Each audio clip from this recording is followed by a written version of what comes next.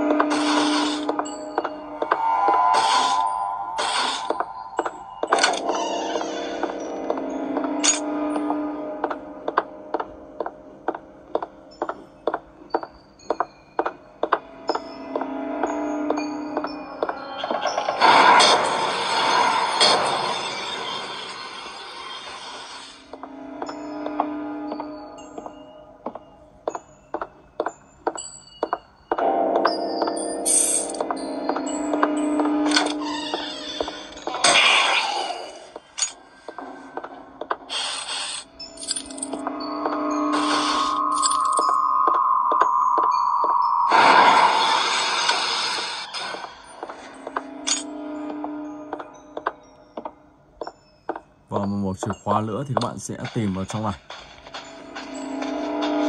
Hiện tại thì mình đang hết máu rồi. Không biết thì uh, quái vật đó có ở gần đây không?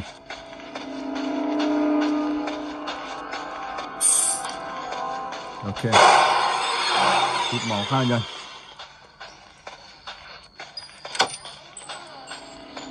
đó cứ như thế và các bạn sẽ tìm kiếm mảnh chìa khóa còn lại nha. Và hoàn thành được cái này. Rồi. Bây giờ thì mình sẽ chuyển sang cái tiếp theo. Slenderia The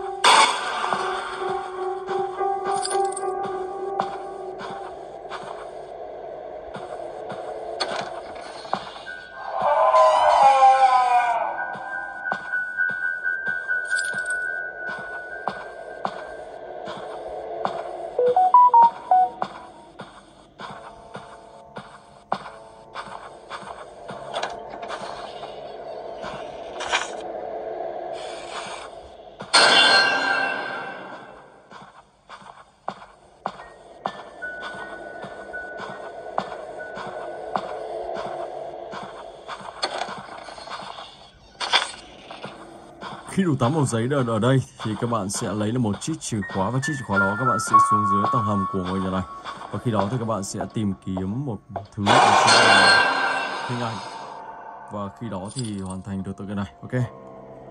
Rồi, bây giờ thì mình sẽ chuyển sang game tiếp theo. Celestina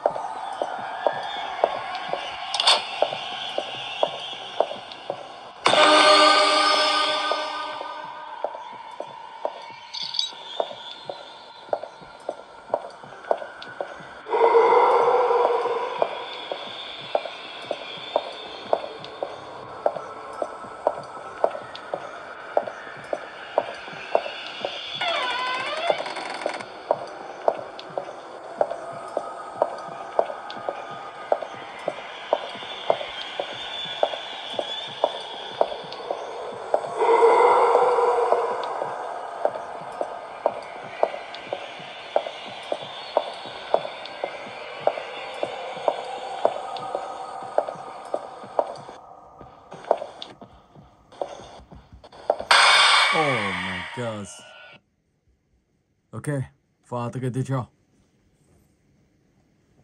Select là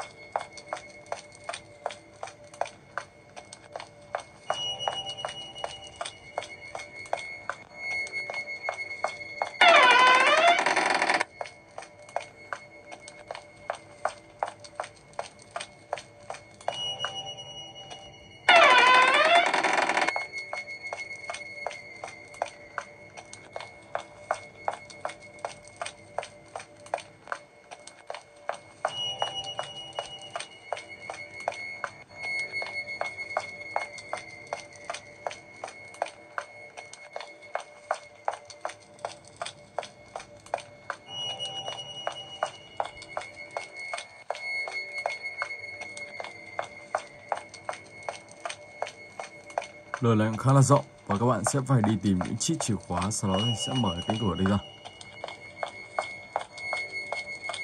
Đây một tựa game cũng khá là khó nhé các bạn nhé.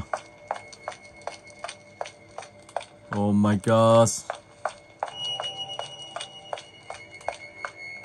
Wow. Oh my god.